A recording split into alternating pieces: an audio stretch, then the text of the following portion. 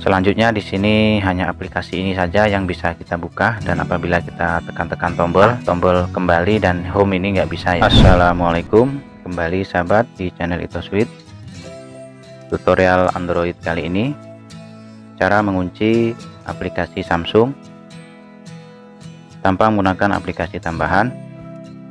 Ada kalanya HP kita dipinjam teman, saudara, atau anak kita untuk browsing di Google maupun di YouTube kita perlu mengamankan agar privasinya lebih terjaga. Namun sebelum lanjut jangan lupa untuk subscribe dan aktivasi lonceng agar tidak ketinggalan video terbaru dari kami.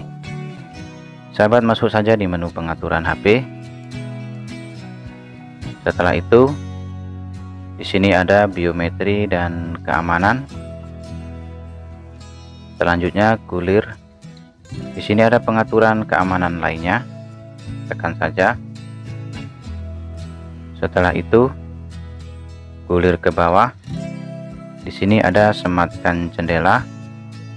Langsung aktifkan. Setelah aktif selanjutnya tekan kembali. Di sini kita aktifkan. Sematkan aplikasi ke layar agar orang lain tidak mengakses fitur di luar aplikasi tersemat artinya apabila ada suatu aplikasi yang kita sematkan atau sahabat kita ingin melihat YouTube ataupun Google maka aplikasi tersebut yang sudah kita sematkan hanya satu aplikasi yang bisa dibuka dan aplikasi yang lain akan terkunci. Untuk menyematkan aplikasi ke layar satu aktifkan sematkan jendela. Dua buka sebuah aplikasi. Tiga tekan tombol terbaru. Empat ketuk ikon di atas aplikasi lalu pilih sematkan aplikasi ini. Nah, selanjutnya tanyakan pola sebelum melepas smart kita aktifkan. Dan selanjutnya kita buka aplikasi lewat home. Selanjutnya apabila teman kita ingin menonton YouTube kita sematkan terlebih dahulu. Di sini ada ikon YouTube di atasnya. Tekan saja. Selanjutnya sematkan aplikasi ini. Aplikasi disematkan untuk melepas, sematkan aplikasi, sentuh dan tahan tombol terbaru dan kembali secara bersamaan.